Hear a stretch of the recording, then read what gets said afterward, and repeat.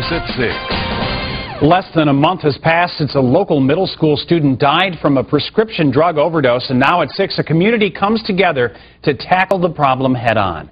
I'm John Stofflet. And I'm Leigh Mills. It's being called a problem that can't be ignored. Recent teen prescription drug overdoses have a community seeking answers. NBC 15's Barkley Pollock is in Milton, where right now community leaders and authorities are trying to put an end to the tragedies.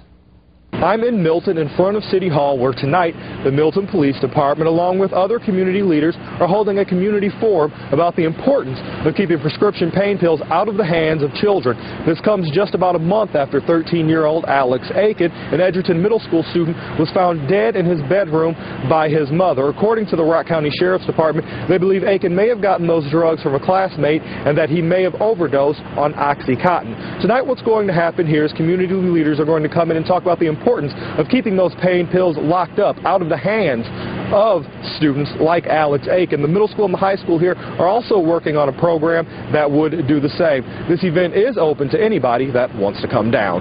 In Milton, Barkley Pollock, NBC 15 News. Thank you, Barkley. And we just found out minutes ago from Alex's mother, Jennifer Bethel, that the Rock County Coroner's Office confirmed that Alex died after an OxyContin overdose.